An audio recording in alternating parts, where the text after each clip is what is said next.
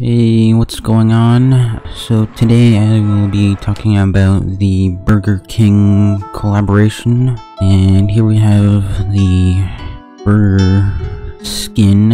So there's three stages. I can't go back to the previous ones, but uh, the third stage goes up to 7.2 million, which is, I mean, I'd say it's pretty easy for know, long time players. But yeah, this is all there is. There's some award or rewards along the way. Uh, and fortunately, there's no board, just the skin. But yeah, and let's do the review.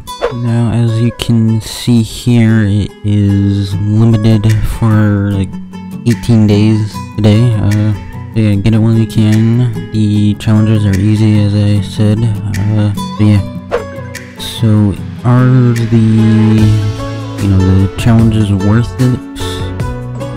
I mean, yeah, it's worth the grind. Uh, the skin does look pretty nice. Uh, you know, it's like a, kind of like a, that fat kid, that has the crown. I guess it's like a free version of that. But yeah, so as I said, this is limited time.